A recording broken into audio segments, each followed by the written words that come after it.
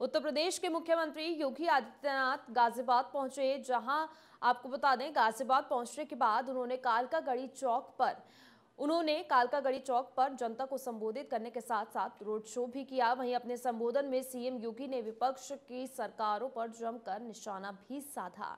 तो तस्वीरें आप देख सकते हैं सीएम योगी की, के गाजियाबाद की तस्वीरें हैं। रोड शो सीएम योगी करते हुए नज़र आए हालाँकि इस रोड शो में भारी संख्या में लोगों ने हिस्सा भी लिया और साथ ही आपको बता दें कि कालका गढ़ी चौक पर पहुँचे, साथ ही उन्होंने जनता को संबोधित भी किया और विपक्ष पर भी जमकर निशाना साधते हुए सीएम योगी यहाँ पर नज़र आए।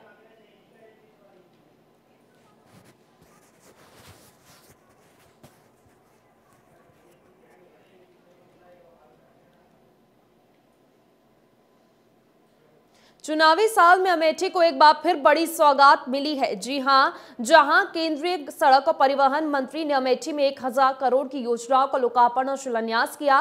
वहीं अमेठी के गौरीगंज के जवाहर नवोदय विद्यालय में आयोजित कार्यक्रम में केंद्रीय मंत्री नितिन गडकरी अमेठी सांसद स्मृति ईरानी और उत्तर प्रदेश सरकार के उप मुख्यमंत्री केशव प्रसाद मौर्य ने अमेठी लोकसभा में एक हज़ार करोड़ की परियोजनाओं का लोकार्पण और शिलान्यास किया। आपको बता दें कि रायबरेली से अयोध्या को सीधे जोड़ने वाली 40 किलोमीटर लंबे टू लेन मार्ग को फोर लेन में बदला जाएगा, जिसकी लागत सात सौ सैंतीस करोड़ रुपए होगी। सड़क का चौड़ीकरण होने से रायबरेली से अमेठी होते हुए अयोध्या तक लोग आसानी से जा सकेंगे। साथ ही सड़क पर एक रेल उप रिगामी हेतु कई छोटी पुलियाँ भी बनाई जाएँगी। इतना ही नहीं, तिलोई विधानसभा में सड़क और जगदीशपुर विधानसभा में बाईपास भी बनाया जाएगा। तो अमेठी की जनता को चुनाव से पहले ये बड़ी सौगात मिली है। एक हज़ार करोड़ की योजनाओं का परिवहन मंत्री ने लोकार्पण किया है।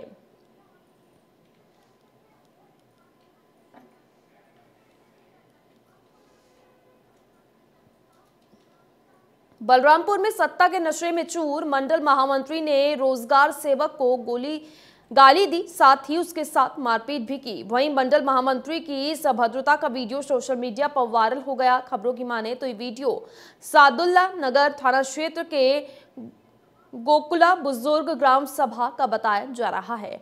तो तस्वीरें आप भी देख सकते हैं बलरामपुर की, जहाँ पर मंडल महामंत्री की अभद्रता सामने आई है। रोज़गार सेवक से बदसलूकी यहाँ पर की है। आप देख सकते हैं किस तरह से मारपीट की कि आँख पर बुरी तरह से चोट इस रोज़गार सेवक को लगी है। साथ ही आपको बता दें कि गाली गलोच भी यहाँ पर की गई। इसके साथ और मारपीट भी की गई है।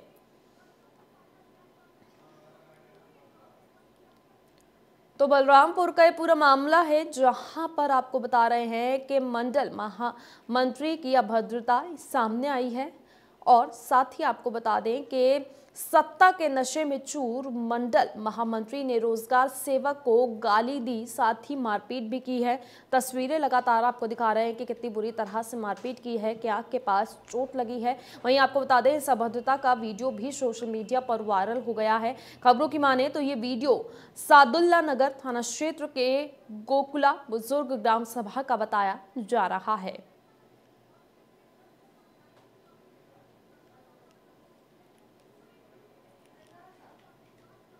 तो बलरामपुर का ये पूरा मामला है। तस्वीरें आप देख सकते हैं किस तरह से अभद्रता की गई। हालाँकि क्यों यह भद्रता की गई और मारपीट किस वजह से की गई, अभी इसकी जानकारी नहीं मिल पाई है, लेकिन तस्वीरें देखकर साफ़ पता चलता है कि रोज़गार सेवक के साथ किस तरह से बुरी तरह मारपीट यहाँ पर की गई है।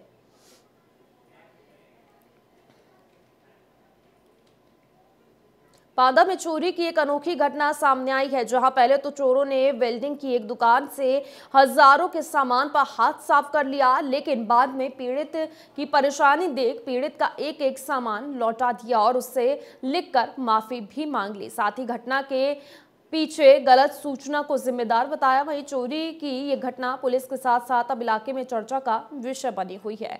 तो बांदा का ये पूरा मामला है, जहाँ पर आपको बता दें कि पीड़ित की परेशानी देखकर चोर भी भावुक होते हुए नज़र आए। दरअसल चोरों ने चोरी की घटना को अंजाम दिया, लेकिन जब पता चला कि पीड़ित जो है, वो परेशान है, सामान उनका चुरा लिया गया है, उससे काफ़ी परेशान है। इसको देखते हुए, परेशानी को देखते हुए चोर भी भावुक हो गए, जिसके बाद चोरों ने सभी सामान को वापस वहाँ पर लौटा दिया। पीड़ित लोगों को साथ ही आपको बता दें, अब पूरा ये मामला पुलिस और साथ साथ इलाके के लोगों के बीच चर्चा का विषय बना हुआ है।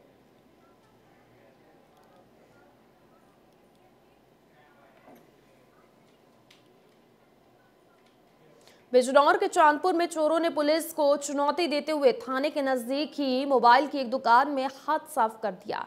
आपको बता दें कि दुकान में रखे लाखों रुपए के मोबाइल और नकदी पर हाथ साफ़ कर लिया और मौके से फरार हो गए।